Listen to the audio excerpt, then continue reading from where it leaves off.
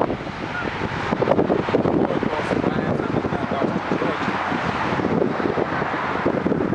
my right is the Valdosta and Lowndes County Jail where we have had 31 jail deaths from 1994 to 2009. Today is January the 1st, 2013.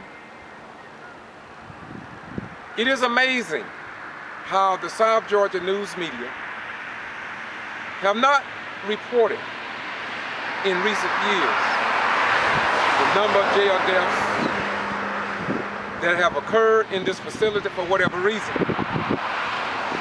We know that we've had quite a few suicides, approximately 10 to 15 or maybe 20, we don't know.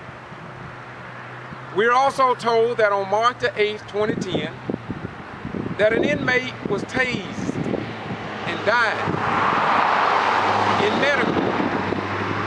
We have it on DVD wherein a former inmate say he witnessed this death. We are going to continue in 2013 to try and get you to understand that something seriously serious is wrong here in Valdosta and Lowndes County. Home of Moody Air Force Base. Many of the people that have died, I understand, was military veterans. I remember mother called me a, less than a year ago about her son who was out here and, and we were almost arrested. I'm not going to get into that. Let me stay focused on the jail deaths. Now, again, from 1994 to 2009, approximately 31 deaths.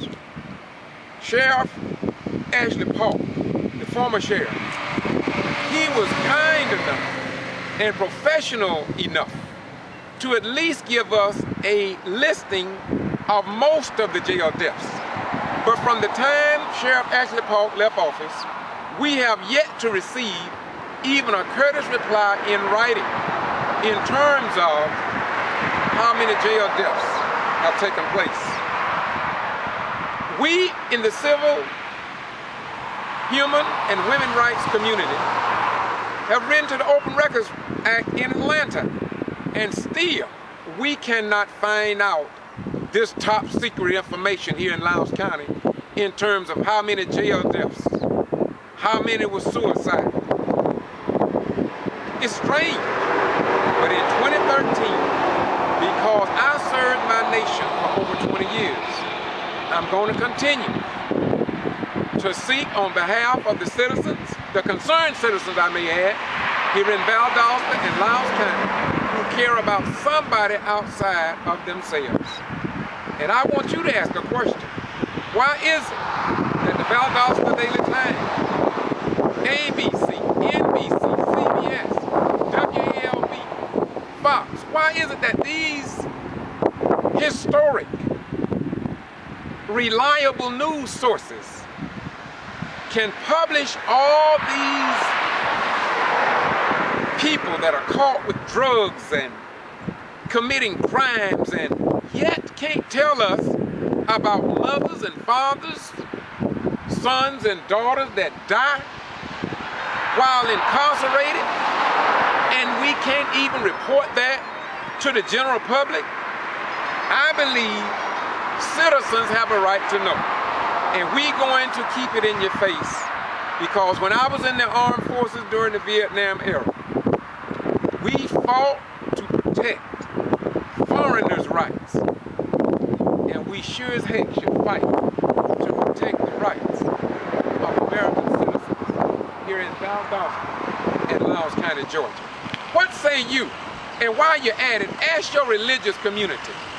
Would not Jesus, would not Muhammad, would not the son of Amram and Yoshabel Moses be asking these cutting edge questions? And let me close by saying this. If these 31 jail deaths, allegedly, and these jail deaths from 2009 to present, if they had been reported for whatever reason, but if they had been reported, this video is like the other ones, wouldn't even be necessary. But because it is not being done, somebody must do what the founding fathers of this republic had on their agenda. There's no need of talking about freedom of the press, freedom of speech, your constitutional rights, while you sit back, placate, duplicate, and imitate the Jesus and the founding fathers and Dr. King on his birthday, playing game with him, but when it comes down to truth, you know where to be found. Yet you say you want to go to heaven. Personally, well, Galatians 6 and 7 says, God is not mocked, whatsoever man sow, that shall he also reap. That means if we can't stand up for our rights in this country, but can stand up for foreign nations, well, pretty soon we're going to lose a few rights that we have left. And then what you going to do? You're going to have sold your children in coming generations down the tube with no rights at all. And then, as, as they say, what you going to do then? Once again, it is what it is.